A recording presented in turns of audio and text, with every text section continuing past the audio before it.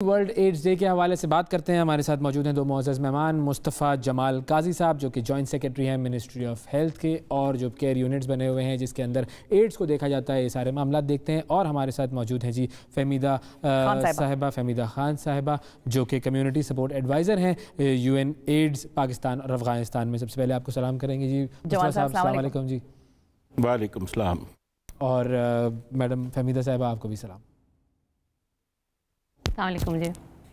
अच्छा अब अगर हम पहले सवाल से आगाज़ करें कि आज पूरी दुनिया में एड्स का आलमी दिन मनाया जा रहा है इस दिन के इस साल का थीम क्या है और इस वक्त पाकिस्तान में एड्स की सूरत हाल क्या है? बहुत शुक्रिया। आ, थीम तो बड़ी स्ट्रेट सी है इक्वलाइज हम सब बराबर में सारी जितनी भी international community and ministry of health government of Pakistan सब बराबरली बराबर तरीके से उसको सपोर्ट कर रहे हैं just to control the H I V in the country पिछले दस सालों में दस से बारह सालों में ये बहुत ज़्यादा बढ़ गई है और तकरीबन उसका बढ़ना चौरासी फ़ीसद हो गया है। अच्छा। और उसके बाद हमारे पास जो अगर आप उसका तनासब देखेंगे तो ट्रीटमेंट बहुत कम लोगों को हो रही है और उसका फैलाव ज़्यादा हो रहा है। उसको कंट्रोल करने के लिए तमाम इदारे इंटरनेशनल बैन अवी कम्यूनिटी में यू एन डी पी उसके बाद U N AIDS UNICEF W H O तमाम के तमाम इस वक्त हमें हुकूमत पाकिस्तान को सपोर्ट कर रहे हैं इसमें। पहली दफ़ा हुकूमत पाकिस्तान ने मिनिस्ट्री ऑफ़ हेल्थ को अराउंड टू बिलियन रुपीस दिए हैं इस तमाम तीन बीमारियों के लिए, जिसका मैं इस वक्त नेशनल कोऑर्डिनेटर हूँ। उसमें H I V T B and malaria.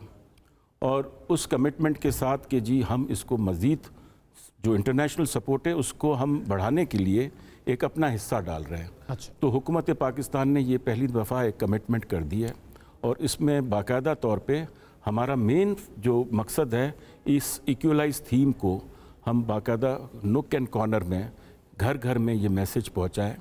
उन पॉपुलेशन को हम ये सेंसटाइज कराएँ कि जी आपकी इस वक्त टेस्टिंग बहुत लाजमी है चाहे आप एच पॉजिटिव हो या ना हो। टेस्टिंग ज़रूर करनी चाहिए। जैसे आप कोविड में आप ट्रीट करते रहे लोगों ने एहतियाती तदाबीर हमेशा ली हुई है। प्रिवेंशन उसको कहते हैं जी।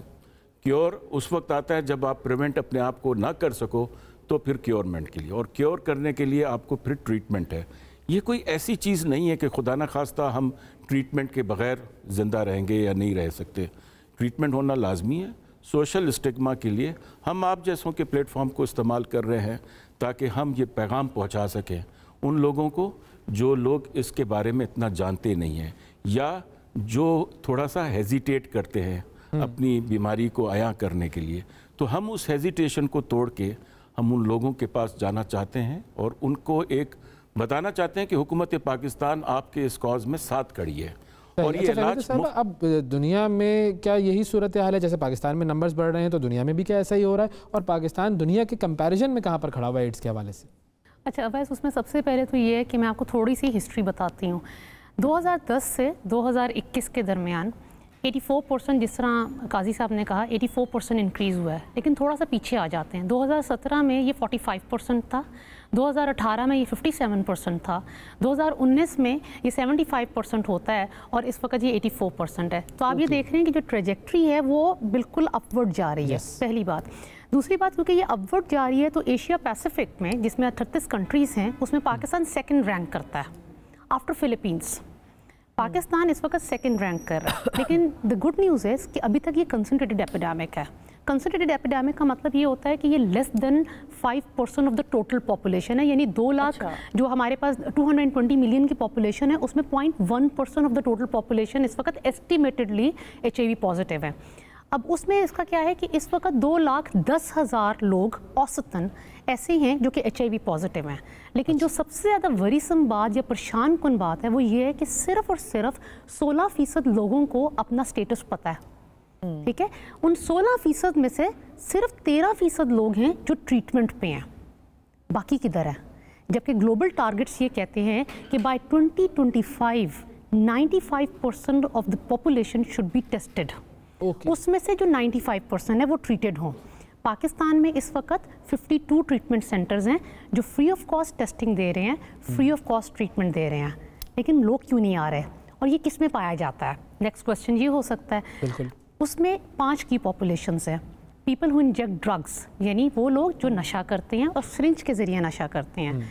Female sex workers transgenders man having sex with man and prisoners ठीक है? और जो टोटल पॉपुलेशन मैंने दो लाख दस की बताई ये वो है जो औसतन एच आई वी लेकिन आप अगर इनकी पॉपुलेशन की जो पाँच की पॉपुलेशन है अगर इनका लगाएँ एक अंदाज़ा लगाएँ वो तकरीबन चौदह लाख लोग हैं।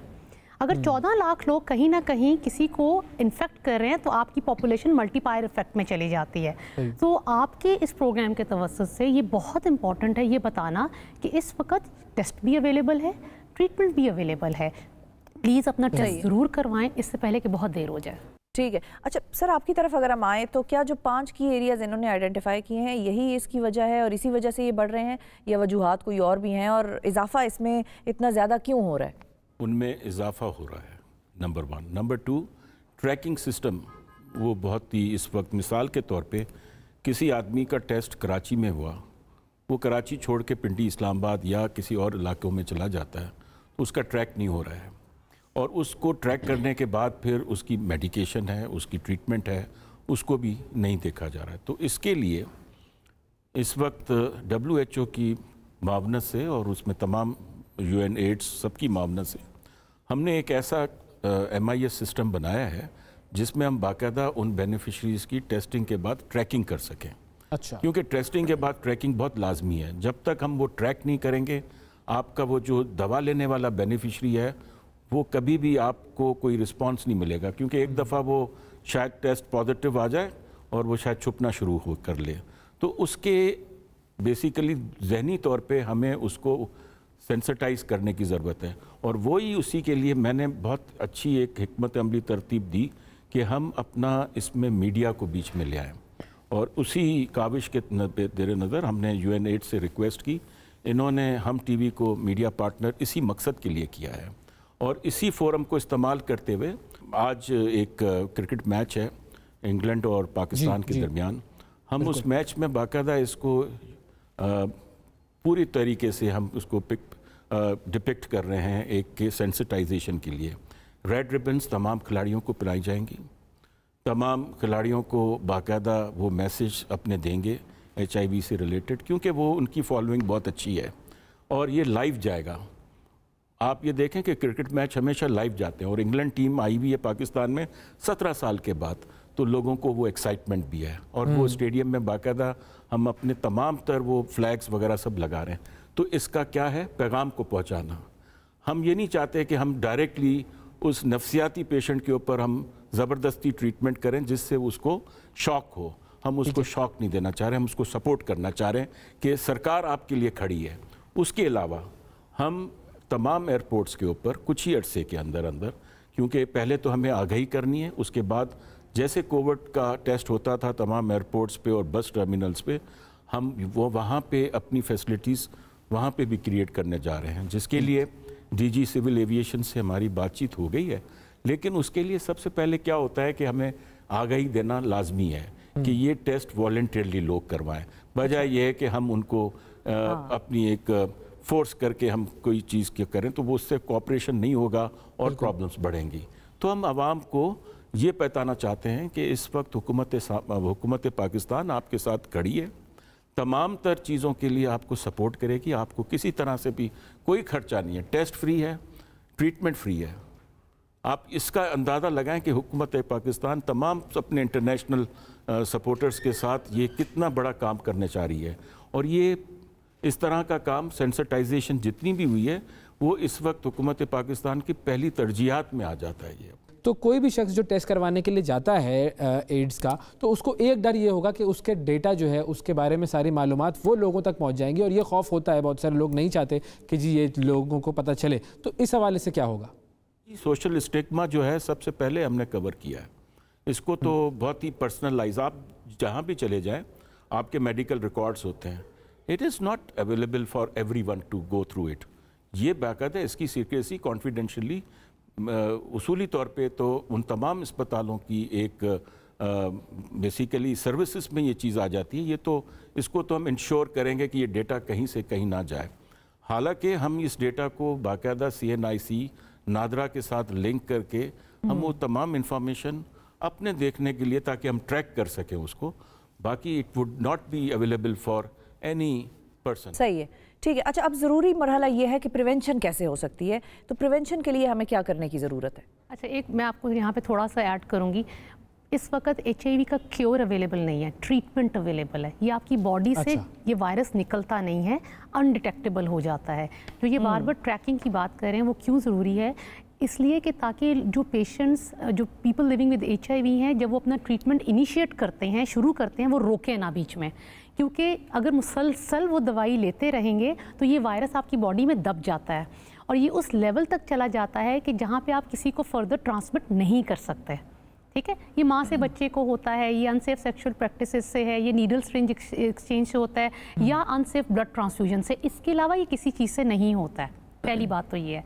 तो क्योर तो मतलब वैक्सीनेशन अभी इस पर काम हो रहा है। ट्रीटमेंट अवेलेबल है जिससे आप एक नॉर्मल इंसान बिल्कुल इसी तरह ज़िंदगी गुजारता है जैसे वो डायबिटीज़ का पेशेंट है जैसे वो हाइपरटेंशन का पेशेंट है। आप सारी ज़िंदगी medicine low and you can live a normal life prevention की तरफ़ आते हैं।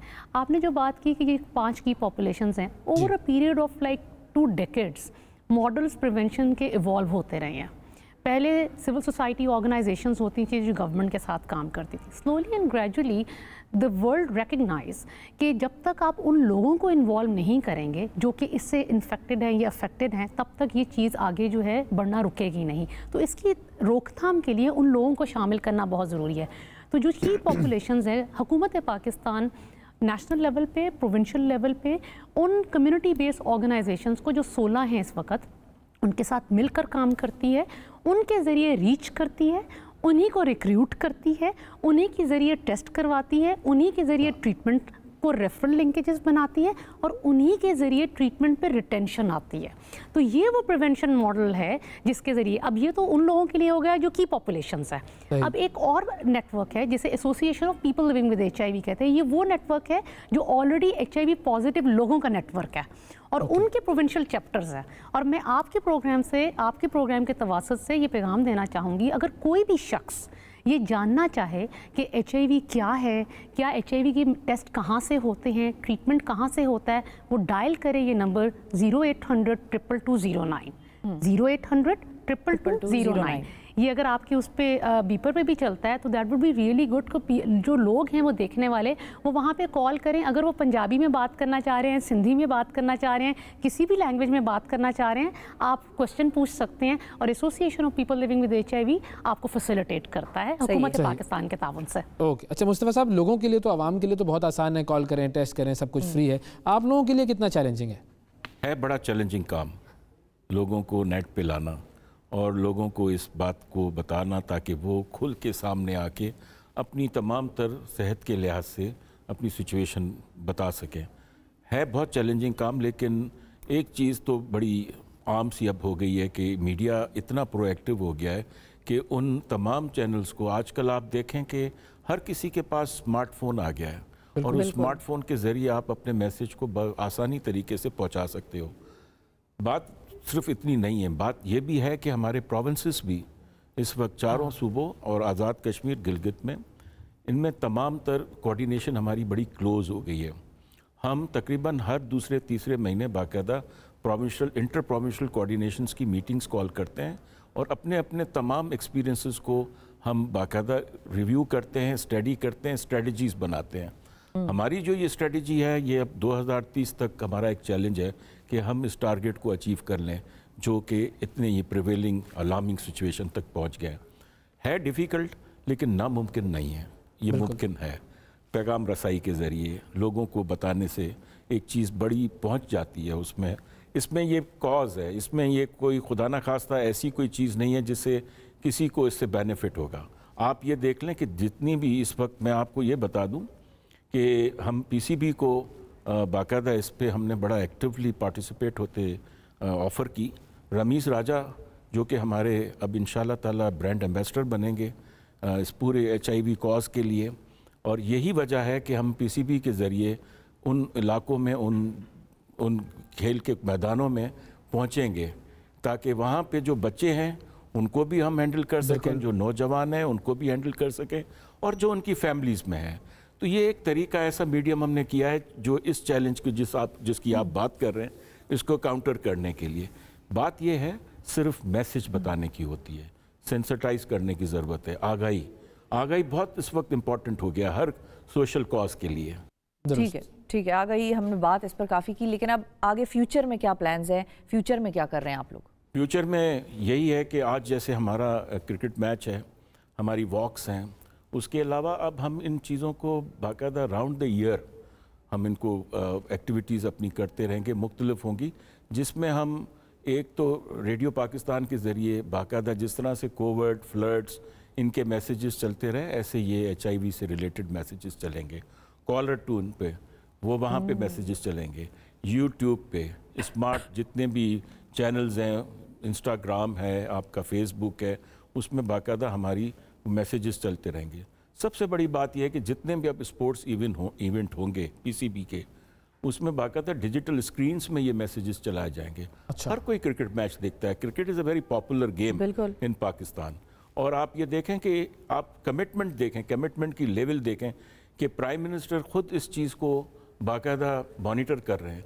और उसके अलावा आप मिनिस्टर सेहत जो है हमारे उन्होंने भी इस चीज़ को बाकायदा तरजीह दी है कि ये जितनी इंटरवेंशनस हो ये मल्टी सेक्टोरल इंटरवेंशंस हों।